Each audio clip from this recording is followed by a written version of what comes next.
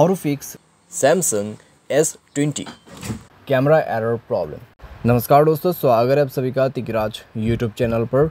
तो दोस्तों, अगर आपके डिवाइस पे कैमरा जो है यहाँ पर काम नहीं कर या फिर कैमरा पे किसी तरह का एरर आपको देखने को मिल रहा है, जिसके वजह से आप पिक्चर्स वगैरह क्लिक नहीं पा रहे या फिर आप कैमरा जो है यहाँ पर ओपन नहीं कर पा रहे या फिर किसी भी तरह का एरर हो सकते हैं कैमरा के रिलेटेड आप इस वीडियो को ज़रूर देखना। मैं आपको यहाँ पे सॉल्यूशन बताने वाला हूँ, जिसके थ्रू आप अपने प्रॉब्लम को फिक्स कर पाओगे, ठीक है? तो वीडियो पे जो भी आपको सॉल्यूशन बताया जाएगा, आपको वही फॉलो करना है। एंड देन दोस्तों चेक करके देखिए, आपका कैमरा काम भी कर जाएगा कैमरा एरर भी नहीं होगा और आपका प्रॉब्लम भी सॉल्व वीडियो शुरू करने से पहले अगर आपने चैनल को सब्सक्राइब नहीं किया है तो सब्सक्राइब करते हुए बेल आइकन को क्लिक करें। अगर आप ऑनलाइन पैसा कमाना चाहते हैं तो वीडियो डिस्क्रिप्शन पर लिंक मिल जाएगा।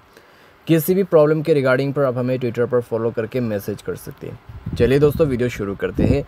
तो सबसे पहले आप दोस्तों यहाँ पर क्या कर सकते हैं? अगर कैमरा पे कोई भी एरर आ जाते हैं, एक बार मोबाइल को रिस्टार्ट करें कैमरा ऐप को भी रिस्टार्ट करें।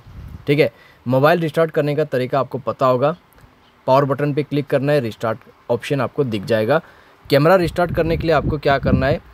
थ्री लाइन्स पर क्लिक करना है और कैमरा ऑप्शन को सर्च करना है रिसेंट ऐप्स पर। यहाँ पे है कैमरा ऑप्शन तो आपको जो है कैमरा को क्लोज़ करना है, कुछ इस प्रकार से स्लाइड करके डिलीट कर देना है, ठीक है बैकग्राउंड से।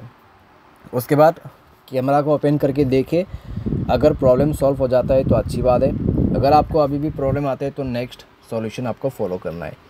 नेक्स्ट पर दोस्तों आपको सेटिंग ओपन करना होगा। उसके बाद स्क्रॉल डाउन करते हुए नीचे ऐप्स पर जाना है। ऐप्स पर जाके आप स्क्रॉल डाउन करें एंड आपको मिलेगा यहाँ पे कैमरा तो कैमरा ऑप्शन आपको सेलेक्ट करना है और कैमरा पर जाके आपको स्टोरेज सेलेक्ट कर लेना है। स्टोरेज पर जाके क्लियर डेटा एक बार करना है और उसके बाद ओके कर देना है, ठीक है?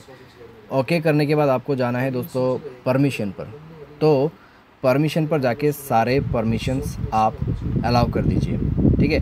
सारे परमिशंस अलाउ करने के बाद दोस्तों आप मोबाइल को रिस्टार्ट करें एंड देन चेक करके देखिए आपका प्रॉब्लम सॉल्व हो चुका होगा।